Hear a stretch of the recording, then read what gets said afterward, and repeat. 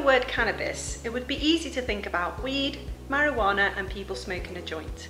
But there is a massive difference between hemp and marijuana cannabis plants.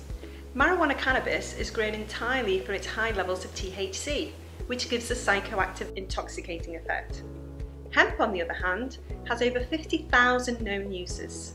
Hemp cannabis has naturally high levels of cannabidiol, known as CBD.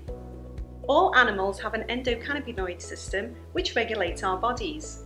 Our receptors actually crave CBD, but we just don't have enough in our diets anymore.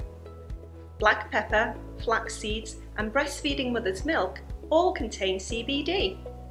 CBD brings our bodies back into balance and helps our mood, appetite, sleep, immune system, and hormone production.